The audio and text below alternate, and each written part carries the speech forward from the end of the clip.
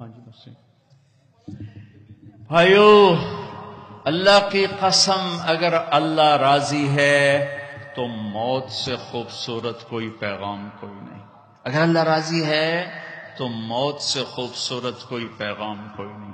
اور اگر اللہ ناراض ہے تو موت سے خوفناک کوئی پیغام کوئی نہیں ہے۔ اور اللہ کو راضی کرنے کے لیے بادشاہ کو فقیر نہیں بننا پڑتا۔ فقیر کو بادشاہ نہیں بننا پڑتا۔ بس کی محمد سے وفاتوں نے تو ہم تیرے ہیں۔ یہ جہاں چیز ہے، کیا لوح قلم تیرے ہیں؟ تین بر اعظم کی حکومت ہے، عمر بن عبد العزیز کے عمر بن عبد العزیز تین بر اعظم پر حکمران یہ کراچی بھی ان کی حکومت کا حصہ ہے اور ان کے انتقال کا وقت آتا ہے۔ تو رجا بن حیوہ کو بلا کر فرماتے ہیں کہ رجا، میں نے تین خلفاء کو قبر میں ڈالا۔ ان کے کفن کی گرا کو کھول کے دیکھا تو ان کا چہرہ قبلے سے ہٹ چکا تھا اور رنگ کالا پڑ چکا تھا۔ کون؟ عبد الملک ابن مرمان سگا چچا۔ ولید بن عبد الملک چچا زاد بھائی اور عبد الملک کا بیٹا۔ سلیمان بن عبد الملک عبد الملک کا بیٹا اور چچا زاد بھائی۔ سلیمان کی ڈیڈ باڈی جب قبر کے قریب کی گئی تو ہلنے لگا ایسے سے ہلنے لگا۔ تو اس کے بچوں نے کہا، ان کے بچوں نے کہا، ہمارے باپ زندہ ہیں، موت نہیں تھی، سکتا تھا۔ تو عمر بن عبد العزیز نے فرمایا، بھتیجو، زندگی نہیں ہے، بل عجل اللہ بالعقوبہ۔ عذاب قبر جلدی شروع ہو گیا۔ جلدی اپنے باپ کو چھپاؤ، جلدی اپنے باپ کو چھپاؤ۔ تینوں کے چہرے قبلے سے ہٹے، رنگ سیاہ۔ یہ کیا کرتے تھے؟ زانی، اللہ کی قسم زانی نہیں تھے۔ شرابی، اللہ کی قسم شرابی نہیں تھے میں تیرہ سو سال کے بعد قسم اٹھا رہا ہوں۔ شرابی نہیں تھے، زانی نہیں تھے، بے نماز نہیں تھے، روزہ نہیں چھوڑتے تھے، حج نہیں چھوڑتے تھے۔ ولید بن عبد الملک روزانہ تحجد میں دس سپارے کھڑے ہو کر نماز میں پڑھ تلاوت کرتا۔ دس سپارے آج بڑے سے بڑا عبادت گزار نہیں کرتا ہے۔ وہ نماز میں تحجد کی نماز میں دس پارے پڑھتا تھا اور چہرہ قبلے سے ہٹ کے سیاہ ہو چکا تھا۔ ان کا ایک اجتماعی جرم تھا۔ وہ ظلم ظلم ظلم، ظالم تھے ظالم تھے ظالم تھے۔ ظلم، حکم اپنی حکومت بچانے کے لیے خون بہایا۔ عمر بن عبدالعزیز نے عدل قائم کیا۔ کوئی لمبی تحجدیں نہیں پڑھی لمبے روزے نہیں رکھے۔ عدل قائم کیا۔ تو رجا کو بلا کے فرمایا، رجا، میرے جانے کا وقت آ چکا ہے۔ دیکھنا، قبر میں اتر کے میرا اللہ میرے ساتھ کیا کرتا ہے۔ جب جنازہ قبر کے قریب آیا اور قبر میں اتارنے لگے تو پرچا آیا، ہوا میں گھومتا ہوا اور عمر کے سینے پر گرا۔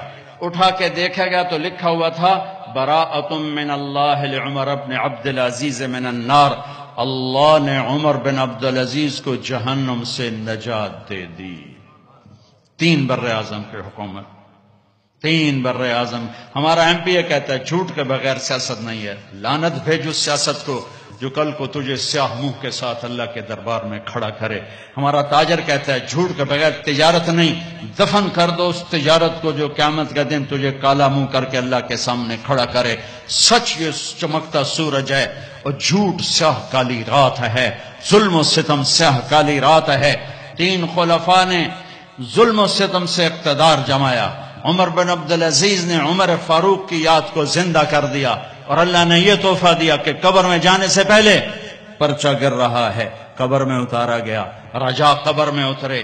کفن کو کھولا۔ فرماتے میں نے کیا دیکھا؟ میں نے یوں دیکھا جیسے چودویں کا چاند قبر میں اتر آیا ہو۔ چہرہ قبلے کی طرف۔ چاند ایسا چمکتا چہرہ۔ حکومت کیسے کی؟ عید کا موقع آیا۔ بارہ بچے تھے۔ ماں سے آ کر کہنے لگے، ماں جی عید قریب ہے۔ ابا سے کہو کپڑے تو لے کر دیں۔ تین بر اعظم پہ حکومت ہے۔ ماں کون ہے؟ فاطمہ بنت عبد الملک سیاست کی تاریخ میں اس سے بڑی سیاسی عورت کوئی نہیں آئی۔ آج تک تو نہیں آئی۔ کل آئے ہوئے تو مینو پتا کوئی نہیں۔ آج تک تک کوئی نہیں آئی۔ دادا بادشاہ، باپ بادشاہ، چار بھائی بادشاہ اور خامد بادشاہ۔ سات نسبتوں سے شہزادی۔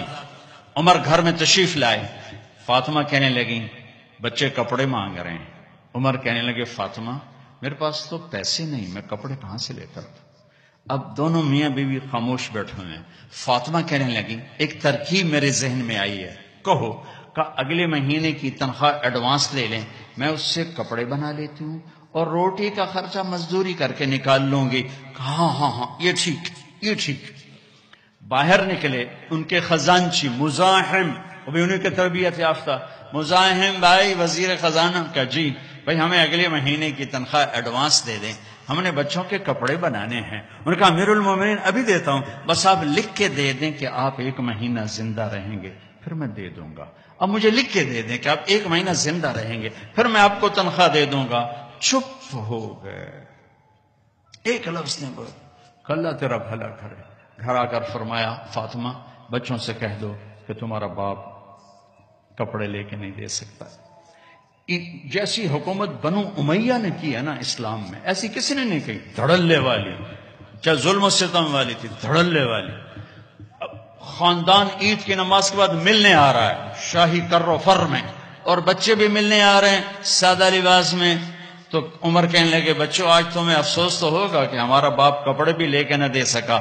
ان کے ایک بیٹے تھے عبد الملک یہ باپ سے بھی دو قدم آگے تھے۔ کہنے لگے، ابا جان، آج ہمارا سر بلند ہے کہ ہمارے باپ نے خیانت نہیں کی۔ خیانت نہیں کی۔ اس کا سلا کیا ملا کہ جیسے چودویں کا چاند قبر میں اتر آیا ہو۔ سوا دو سال میں کسی بھیڑیے نے بکری پہ حملہ نہیں کیا۔